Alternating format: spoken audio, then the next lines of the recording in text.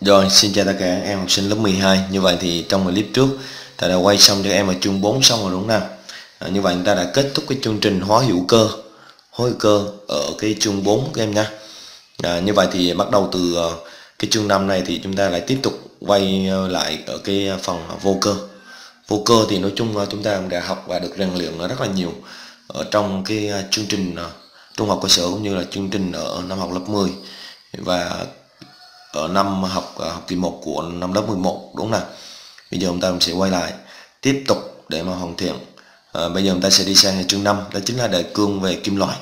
Kim loại thì uh, chắc chúng ta được uh, nghe và được biết được học rất là nhiều về tính chất vật lý tính chất hóa học điều chế ứng dụng uh, rất là nhiều. Thì bây giờ những cái phần nào mà nó thuộc về uh, chúng những cái kiến thức mà chúng ta được học rồi thì thầy sẽ dạy nhanh. Những cái nào mà chúng ta chuyên sâu và nâng cao thì thầy sẽ dạy chậm em nhé. Ở đây chúng ta cần phải nắm giùm thầy đó chính là cái vị trí của kim loại trong bảng tương hoàn ở trong bảng hệ thống tương hoàn thì ờ, chúng ta đã, đã, đã có rồi đúng không đây. Thầy sẽ cho em xem. Thầy lâu quá. Cái kim loại là ở trong đây nó ký hiệu màu vàng này em. Màu vàng kim loại. Đầu ở đây là gì? Li này.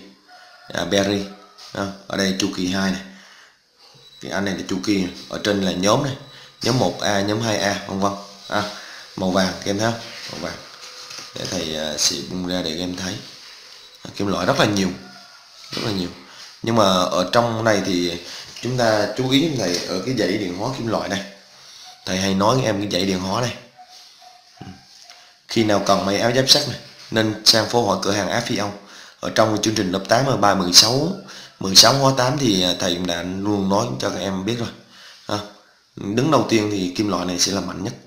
Và uh, cái anh mà đứng cuối cùng ở đây ao ở đây chính là vàng này thì nó sẽ là yếu nhất. À, rồi.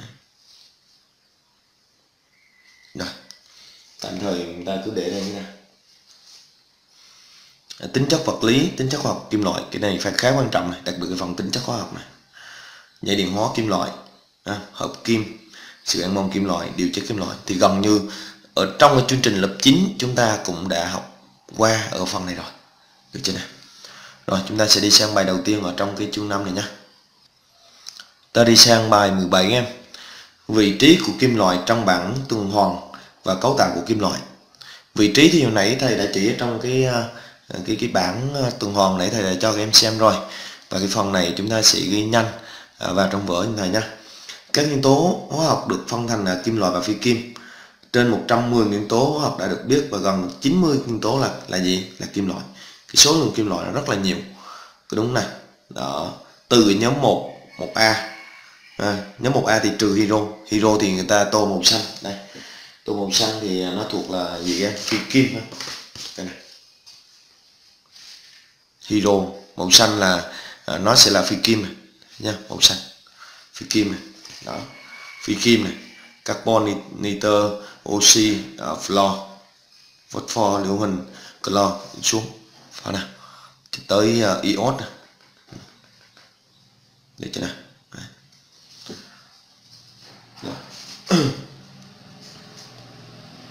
rồi. phần này em ghi vào đồng vở giúp thầy nha.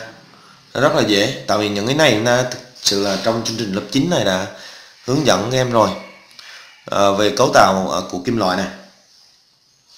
Một cấu tạo nguyên tử. À, chúng ta sẽ ghi này câu này vô này. Rất quan trọng này. Nguyên tử của hầu hết các nguyên tố kim loại đều có ít nhỉ? Ít e trong ở lớp ngoài cùng. Một hai hoặc là tối đa là ba. Một thì lấy ví dụ như natri. Hai ví dụ canxi.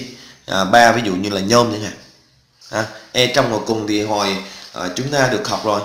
Um, ở trong chương trình ờ, uh, cửa cả lớp 8 thì chúng ta đã đã biết được ví dụ nguyên tử uh, natri chẳng hạn. Thì ở ngoài đây là là e ở bên trong này là chính là hạt nhân. Các em hiểu nào? Thì ngoài cái lớp ngoài cùng á cái vòng ngoài cùng á thì người ta ký hiệu ở đây là một cái chấm. Nghĩa là thể hiện đây là một e một e là trong và cái này chính là, là biểu thị cái gì? Cái hóa trị của nó. À, tại vì nó cho và nhận các em còn nhớ câu là khử cho. Khử cho o nhầm O nghĩa là oxy hóa. Oxy hóa sẽ là nhận và chất khử là sẽ là chất cho. Chất oxy hóa sẽ là chất nhận. Và đa số kim loại đều thể hiện tính gì? Tính khử. À, kim loại thì nó sẽ thể hiện là tính tính khử được chưa? Còn ví dụ như oxy rồi thì nó sẽ thể hiện tính oxy hóa ha. natri này ha còn viết về cấu hình ờ, theo các cái nhóm, thì ờ, trong chương trình của lớp 11 thầy đã hướng dẫn em rồi. Magie đây, một này. Ở đây hai này. Còn anh nhôm là hai này, cộng lại này. Ba này. Chứ không phải nó nhìn thằng đây đâu nha. Không phải nhìn cái số này đâu nha em nha. Đây chỉ là cái số lớp thôi. Ha? Ừ. Được chưa? À, chúng ta ghi lại câu này vô nữa này trong cùng chu kỳ nguyên tử của nguyên tố kim loại có bán kính nguyên tử lớn hơn và điện tích à, hạt nhân nhỏ hơn so với nguyên tử của phi kim. Để chúng ta đi so sánh của cái thằng kim loại so với phi kim. Đó. Đó. được chưa? Ok. Rồi à, về um, cấu tạo tinh thể. Chúng ta ghi này câu này vô ở nhiệt độ thường trừ thủy ngân thủy ngân thì chúng ta biết rồi Hg nè. Thì ở thể gì? Thể lỏng. Còn các kim loại khác ở thể gì? Thể rắn. Và có cấu tạo tinh thể. Nha ví dụ như muối eh, natri chẳng hạn. À, natri. Các cái dạng mạng. à. ta ghi này câu này vô.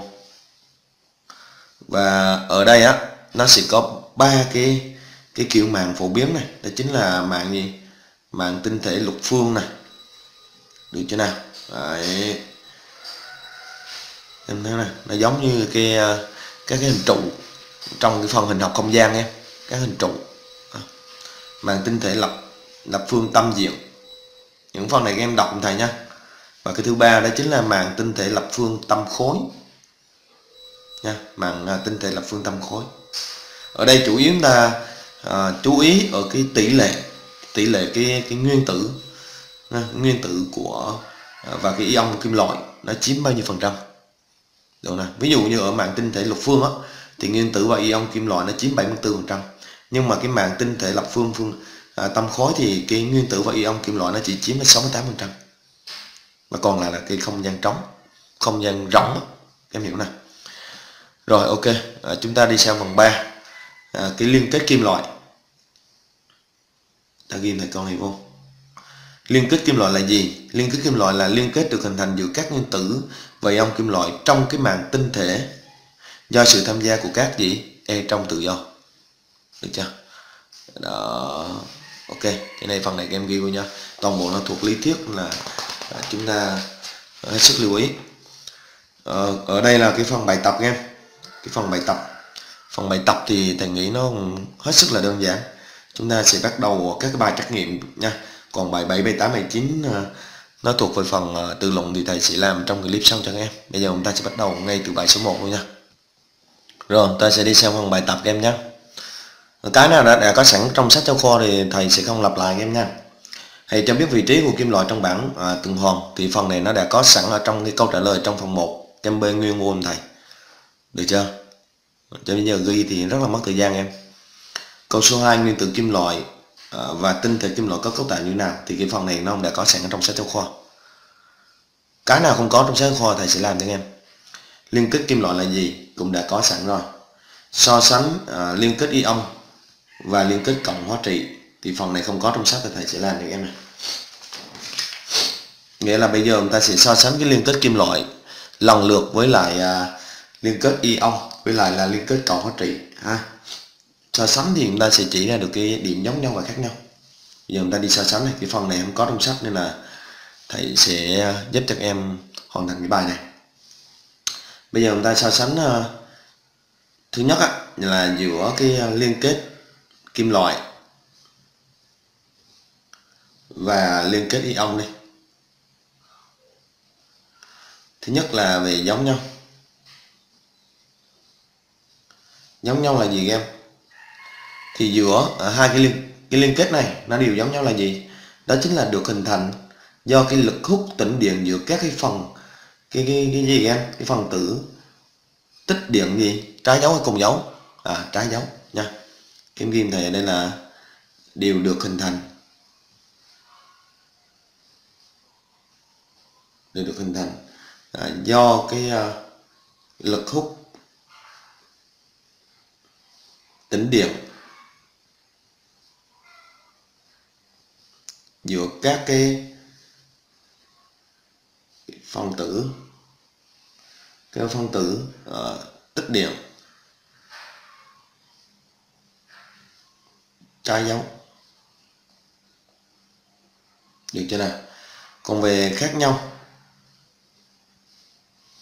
khác nhau thì sao nè cái anh liên kết kim loại á, thì chúng ta biết rằng thì à, các cái các cái phần tử à, các cái phần tử à, nó tích điện trái dấu là ion gì? Là ion âm dương và các ion tự do.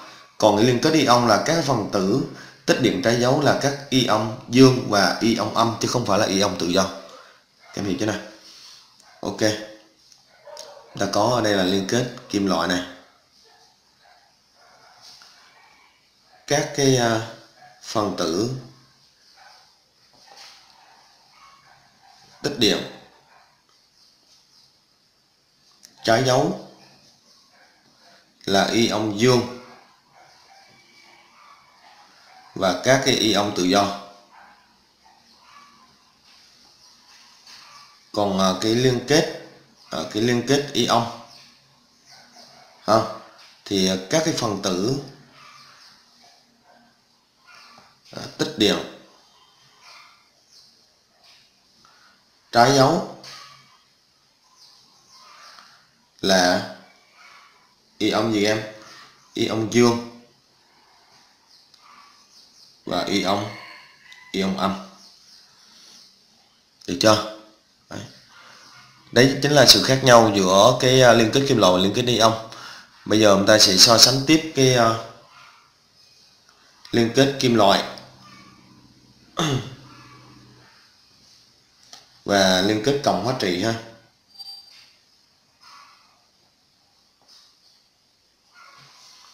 Giống nhau. Giống nhau thì ở đây em thấy rằng cả hai liên kết này là đều có những cái ion thành loại các cái electron chung của các cái nguyên tử ha. À, đều có những cái uh, electron chung của các cái nguyên tử.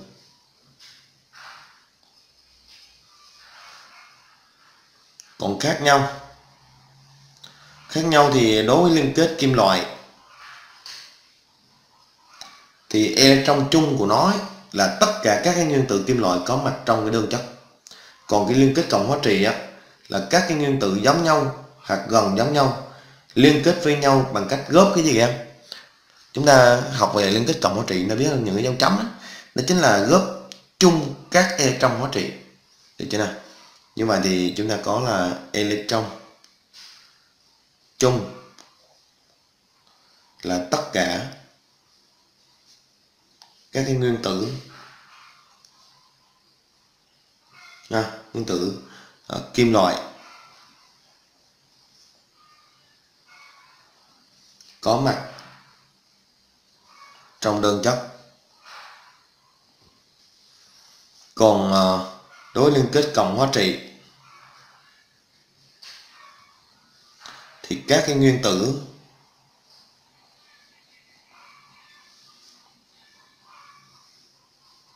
giống nhau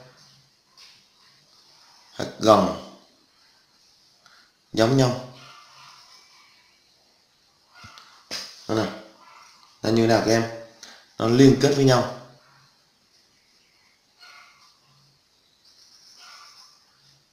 Bằng cách góp chung các electron hóa trị. Đó. Được chưa nào? Ghi mỏ hết cả tay em. Được chưa nào? Cái muốn ghi chép thì à, ta bấm dừng video lại để các em ghi nhé. Chắc clip hôm nay tới đây kết thúc em. Trong clip sau, thầy sẽ bắt đầu quay cho em từ câu số 4 nhé. Chúc em học tốt. Bye bye. Ok.